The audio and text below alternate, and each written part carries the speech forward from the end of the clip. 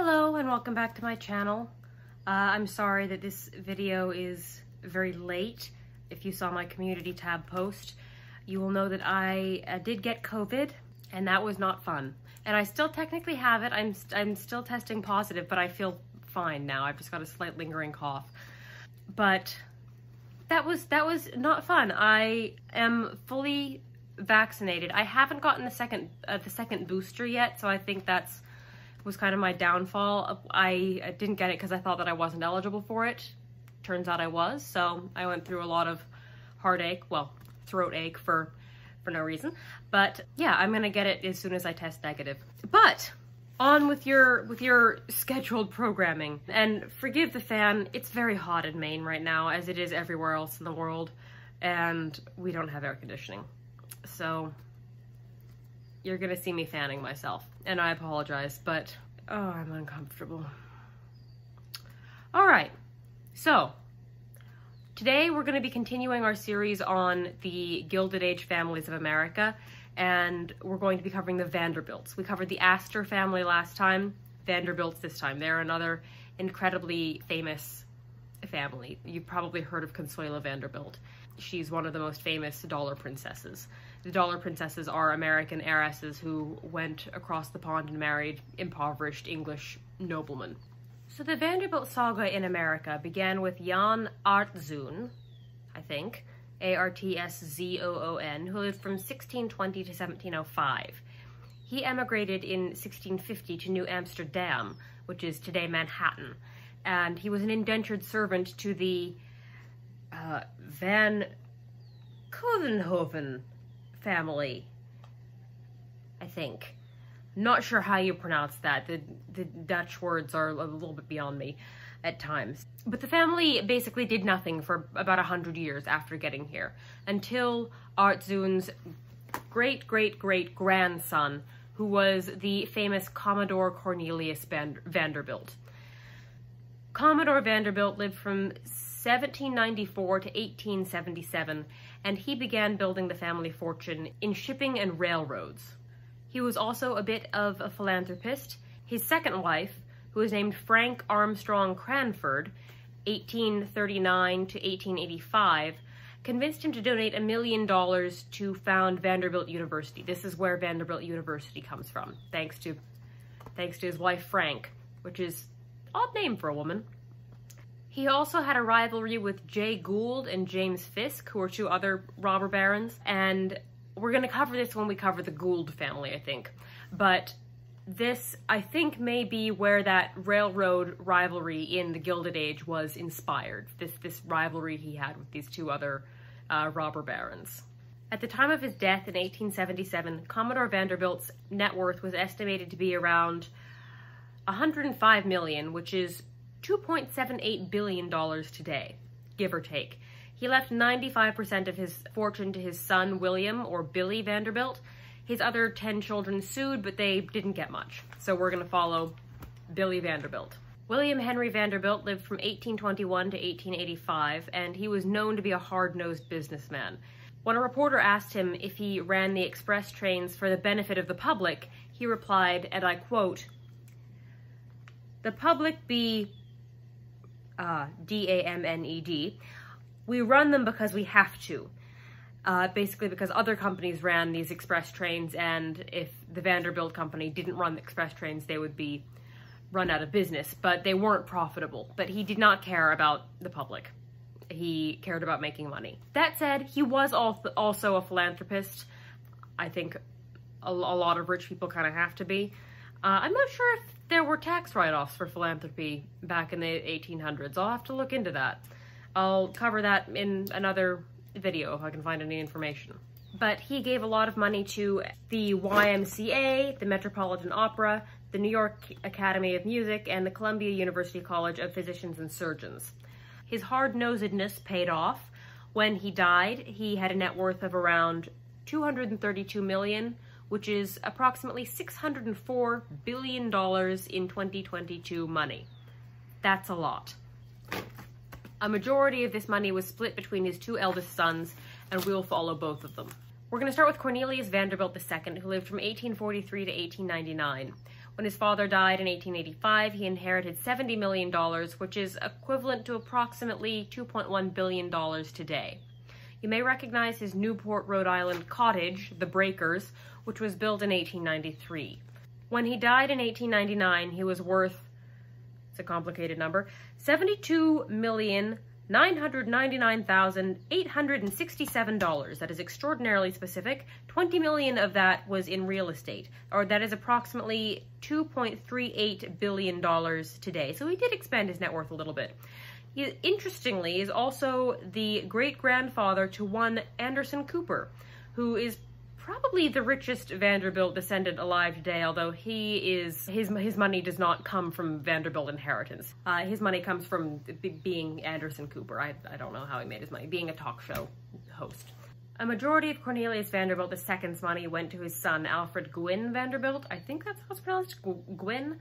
He lived from 1877 and he died in 1915 on the ship Lusitania. He also seems to have managed to have squandered a vast amount of money because when he died, his net worth was estimated to be $15.6 million or $45.7 million today. So still a huge amount of money, but when you consider that his father's net worth was 2.8 billion, or the equivalent of 2.8 billion dollars, there's a lot of money left unaccounted for. I'm also not sure what happened to a majority of his money because a lot of it is left unaccounted for in his will. He left $1.2 million to his widow and to his three sons, plus $300,000 to each of them every year. All of his sons died wealthy, but not not astronomically so. They uh, all seem to have died with a net worth of about $5 million, and that was split equally among their children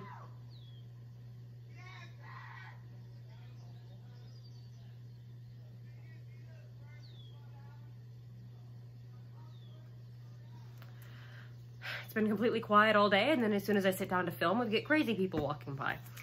That was all split amongst their children and has been winnowed down farther to be not very much money at all these days. So back to William Henry Vanderbilt. This is Cornelius Vanderbilt II's father. His other son, William Kissam Vanderbilt, who lived from 1843 to 1920, inherited $55 million when his father died in 1885. That is the equivalent to $1.7 billion today. You will likely recognize his mansion on Fifth Avenue in New York, which was built in 1883, and his Rhode Island cottage, cottage, Marble House, which was built in 1892. I've not been able to find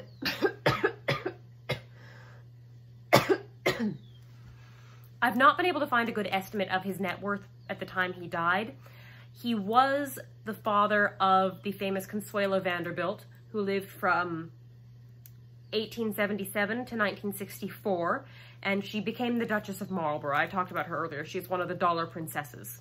Her great-grandson, who is named Charles James Spencer Churchill, 12th Duke of Marlborough, has a fortune estimated to be around $1.33.5 million.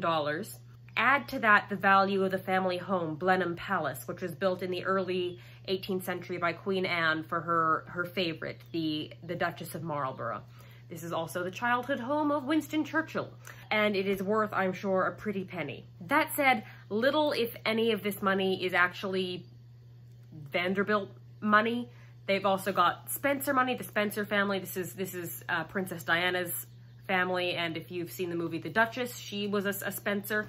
The Spencer family was uh, arguably the richest family in Britain, so they've got a lot of Spencer money coming in. They've got Marlborough money, so this is this fortune should not be credited to the Vanderbilts necessarily. Maybe some of it, but not all of it.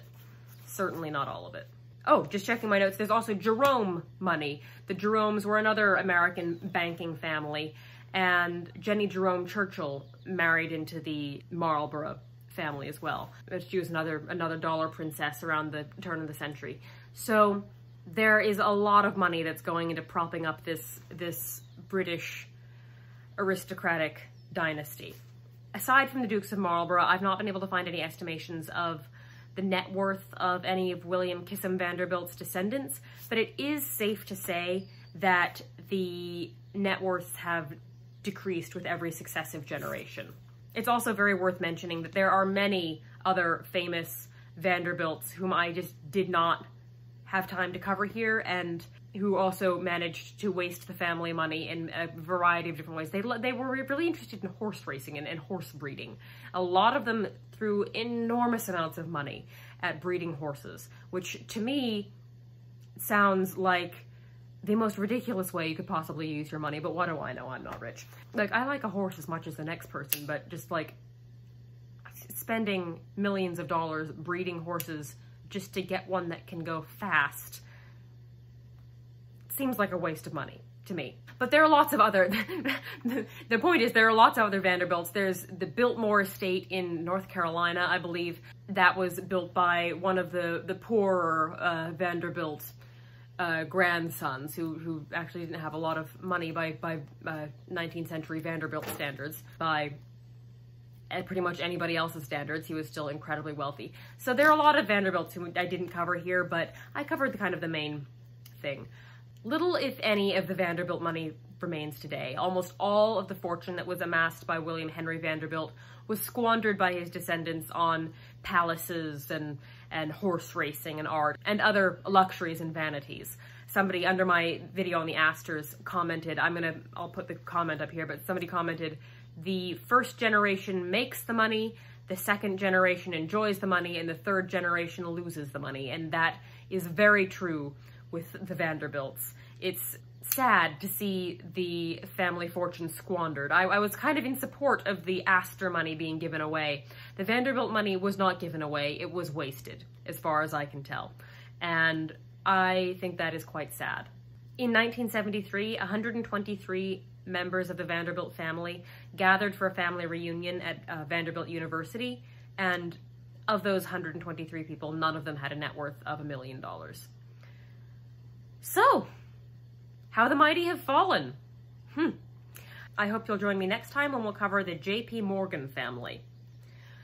A huge, huge thank you to Mary Royal, Kit Kat Stitch, Emily Donnelly, Sandra White, and V Birchwood for sponsoring this channel on Patreon. If you'd also like to sponsor this channel on Patreon, there'll be a link down below. If you don't want to or you can't, no hard feelings, I completely understand. I'm going to also leave a link to my Instagram down below. You can follow me there, and you totally should follow me there. I'll leave my email down below so you can get in touch with me if you'd like to.